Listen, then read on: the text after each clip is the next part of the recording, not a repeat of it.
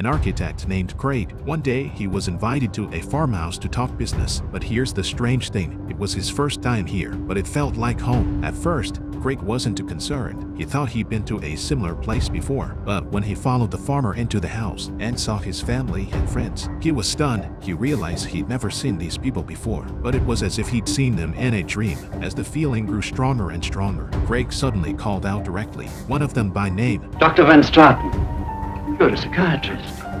The psychiatrist didn't believe the lie, thinking that Craig might have read about him in one of the newspapers. That's why he remembers him. But Craig insisted he has the same nightmare every night, not just about the shrink, it's about everyone there. In his dreams, the shrink thought it was crazy, so he asked him to describe the dream. But Craig said he couldn't go into too much detail. All he could remember was that it won't be long now. There's going to be a woman in a hat here, and at the end of the dream, something really horrible happened. I thought that's such a bullshit paranormal incident. I thought no one would believe it, but it turns out that except for the psychiatrist who didn't believe it, except the psychiatrist, everyone believed in it because every one of them had experienced and explained paranormal events. So John, the race car driver, rushed to tell the crowd, to tell the crowd the first horror story he'd experienced. A few years ago, he had an accident during a race, but luckily, John didn't die. He just suffered a blow to the brain. He was temporarily in a coma under the care of the nurse. John soon woke up, but the night he woke up, something strange happened. As soon as the nurse left, John heard someone singing outside his window,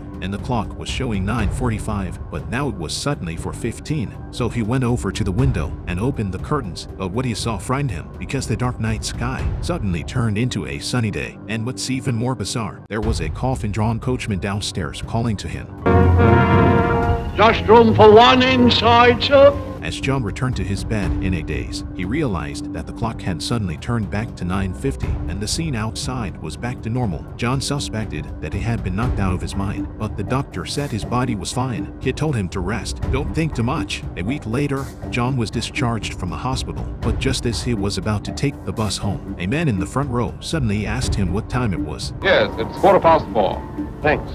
John hadn't realized anything was wrong yet, but just as he was about to get on the bus, Just room for one inside, sir. He saw the driver was the same driver who had pulled the coffin before. John was too scared to move, as if fate was reminding him not to get in the car. Sure enough, in a few seconds, the bus had an accident not far away. Soon as the racer finished his story, a woman in a hat suddenly visited him, and this scene was exactly what Craig had said. But even so, the psychiatrist believes that these events are purely coincidental. He even suspected that everyone in the room was playing a trick on him. While the crowd was arguing, the little girl Alice interrupted them and began to tell the story of a strange event that had happened to her last winter. That day, he was invited to a Christmas party at an old castle. During the party, someone suggested a game of hide and seek. At first, Alice and Peter hid behind a curtain on the first floor, but Peter never thought it was perfect, so he dragged Alice to hide in an abandoned room. It is said that there was once a murder here. A girl suddenly went mad, strangled her brother to death. After that, People often saw the boy's ghost has been seen wandering around the house. Peter wanted to take advantage of Alice, to take advantage of Alice, but he didn't think she'd take it. After cursing the pervert, he took the opportunity to sneak into a more private room. But as soon as he walked in, he saw a little boy lying on the sofa crying. Alice's motherly heart aroused, rushed over and hugged her. But as he hugged her, she realized that she hadn't seen her downstairs before. I wondered where this little one came from, so she asked her name. What was her name? The boy said his name was Rati. This is the room where she lives with her sister, Martha, but her sister was very bad, always threatening to kill him. Alice didn't think much of it. She just felt sorry for the little guy. So she not only kissed him on the cheek and sang him a lullaby. A few minutes later, Alice came back downstairs and told everyone what had happened. Peter thought Alice was playing a joke on him because this little boy, Ratty, he mentioned in the room earlier, the little boy who was strangled by his sister. It was then that Alice suddenly realized she should have encountered something dirty just now. After Alice finished her story, everyone felt scared, but the young woman Marilyn said her experience was 100 times more terrifying than Alice's. The story began a few weeks after her engagement. She remembered that it was her fiancé Charlie's birthday, so she spent a fortune. She bought her an antique mirror as a gift. Charlie loved it at first. He had it installed in his bedroom, but the next day, when Charlie looked in the mirror again, something strange happened. He found that the scene reflected in the mirror seemed different from the real room. Charlie was so scared that he closed his eyes. Luckily, when he opened his eyes again, everything was back to normal. At first, Charlie thought he was seeing things. He didn't take it seriously, but when he got off work at night and looked in the mirror again, something horrible happened again. This time, no matter how Charlie opened and closed his eyes, the image in the mirror never returned to normal. Charlie was so scared that he rushed to tell Marilyn about this strange incident. He even suspected that there was something wrong with his brain, but Marilyn thought maybe it's because she's getting married soon. She thought it was a hallucination caused by her nervousness, and so she took Charlie back to the mirror to calm her down, to calm her down, and then try to raise her head again. You're not there. But of course I'm there. I tell you you're not. By now, Charlie had decided she was out of her mind, Gracie, but Marilyn didn't believe it, so she kept encouraging her. Eventually, with the efforts of the two of them, Charlie seemed to overcome his fears, but the good life didn't last long. When Marilyn came home to visit her mother, Charlie realized that the old house in the mirror had reappeared, and this time, the mirrors seemed to be trying to devour her. On the other side, Marilyn was walking past the shop that sold her the mirror. She wanted to go in and ask the owner where the mirror came from. Instead, she found an antique bed, and this antique bed seemed to be the same as the one in the mirror. In the mirror, then the boss told him the antique bed and the mirror were actually a set, and their first owner was a man named Etherington, but something tragic happened to him. Etherington was out hunting one day and fell off his horse. The horse broke his spine. Since then, Etherington has been paralyzed. He had to stay in bed all day. He became withdrawn and irritable. He accused his wife of being unfaithful to him. In the end, he strangled his wife to death in the mirror there. He strangled his wife in front of the mirror. He slit his own throat. When Marilyn heard the story, Marilyn was instantly terrified, so she rushed home. But by now, Charlie was out of his mind. When he saw Marilyn, he cursed him. He told her that he kept himself tied up in his room so that he could go out and meet other handsome men. Marilyn realized that her husband was probably possessed by Etherington, so she shouted at him. But by now, Charlie had lost all sense of reason. The next moment, he strangled Marilyn with a silk scarf.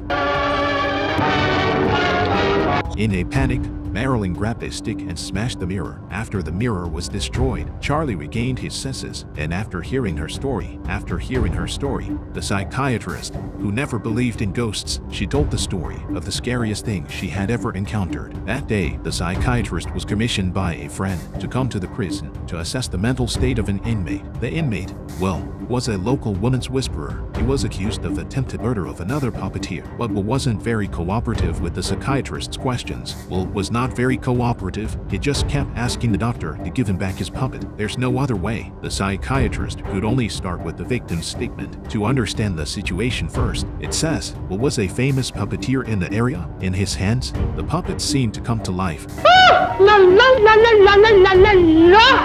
But soon, Will's expression became grave because he suddenly realized the puppet in his hand seemed to be out of control. I'm just about through with that cheap ham anyway. Oh. When he saw that, Will had to end the show early. He thanked the audience and left in a panic. But it wasn't long before the puppet. The puppet poked its head out from behind the curtain. I'll be waiting for you in my dressing room. You and I have got to talk business. The man in front of us, Bauer, is also a poet in the language of women. After receiving an invitation from Hugo the puppet, he knocked on the door of his room with great anticipation. But when he entered, he realized only the puppet himself had been communicating with him, but his master, well, was nowhere to be seen. While Bauer was confused, Will suddenly came out of the toilet cubicle, seeing that Bauer had not asked for his permission. Without his permission, he was very angry. Sorry, but I can't bear anyone touching him. Bauer was not happy about it. It was Will who used the puppet. He invited him in. Why is he suddenly not welcome? Listening to Bauer, Will realized that the puppets were probably in on it. How in heck could I team up with Hugo? He's yours, isn't he? So he said he was tired and asked Bauer to leave, but suddenly, Ignore him. I'm the one who gives orders round here. He's only. at this moment, Bauer felt that this guy is not right in the head, but just turned around. The two of them were confused. Gee, my friend, don't leave me. Bauer was so scared that he left the room. But a few days later, he met Will again in a hotel. He was drunk, and it just so happens that the two of them live next door to each other. So he was kind enough to send him back to his room to rest, but Will didn't seem to appreciate it. He thought Bauer was approaching him on purpose. He must have wanted to take his puppet away from him. But Bauer didn't want to bother with a drunkard. But Bauer was kind enough to take Will to bed. But in the middle of the night, Bauer suddenly woke up by a sharp knock on the door, opened the door and found Came to the the door, he accused Bauer of stealing his puppets. He began to rummage around the room. Bauer thought he was sick again. He urged him to leave, but then, just then, Will actually found the puppet on his bed. Not waiting for Bauer's reaction, Will shot him in the arm. You dirty thieving swine! Luckily, Bauer survived. After reading the statement, the doctor was of the opinion that the key to a complete understanding of Will's state of mind lies in the puppet named Hugo. So he ordered the guards to put the puppet in his dark room. While he stood in the doorway and watched his behavior, Will was very happy to see his old partner, Hugo. You wouldn't leave me, Hugo. I knew you'd come back. But the puppet said it didn't want to be around a murderer. Will was not happy. He accused the puppet of forcing him to do it. If the puppet insisted on leaving, he'd tell the police the truth. But the puppet listened, and he didn't panic at all. Wait and see what happens. They'll put you in the madhouse. When Will saw that the puppet was going to leave him, suddenly, his face turned into a grimace. Then he grabbed a pillow and tried to smother the puppet. Baffle! By the time the psychiatrist rushed in, he'd already crushed the puppet. Since then, Will became a psychopath. He hasn't said a word to wake him up. The doctor brought Bauer to visit him. When Bauer greeted him, Will immediately came to his senses. But then, the next thing he knew, the noises he was making were very strange.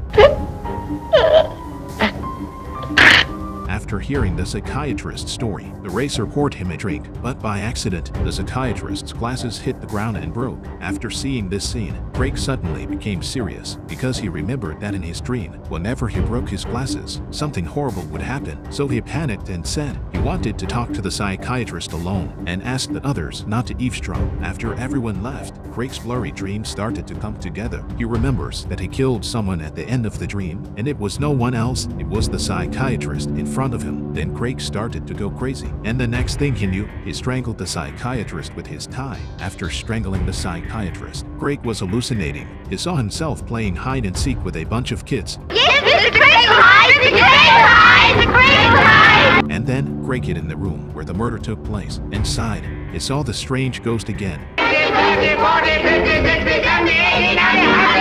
Just as the girl found him and was about to scream, Craig suddenly put his hand over his mouth and dragged him into the room. He punched him to death. Take a seat, sucker. Then the puppet and Bauer appeared. They not only laughed at him for being a psychopath and accused him of being a murderer. Hi, Hugo. We've never played to a murderer before, have we? In the end, Craig was surrounded by a group of people. He was taken to prison amidst the cheers of the crowd. Just room for one more inside, sir.